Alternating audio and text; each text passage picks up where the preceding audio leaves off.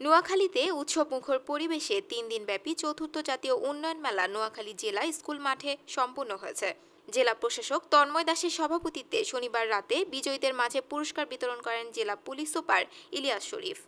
এ সময় মুক্তিযোদ্ধা সহ বিভিন্ন শ্রেণির অতিথিরা উপস্থিত ছিলেন। মেলায় পঁচাশিটি স্টলে সরকারি বিভিন্ন দপ্তরের উন্নয়ন কার্যক্রম জনসম্মুখে তুলে ধরা হয়। মেলায় বিজয়ীদের মধ্যে সড়ক ও গণপূর্ত বিভাগ প্রথম স্থান ও স্থানীয় সরকার, এলজিডি দ্বিতীয় স্থান এবং নোয়াখালী কারিগরি প্রশিক্ষণ কেন্দ্র কৃষি বিভাগ যৌথভাবে তৃতীয় স্থান অধিকার করে। এর আগে স্থানীয় শিল্পীদের পরিবেশনায় একটি সাংস্কৃতিক অনুষ্ঠান অনুষ্ঠিত হয়। এলো এলো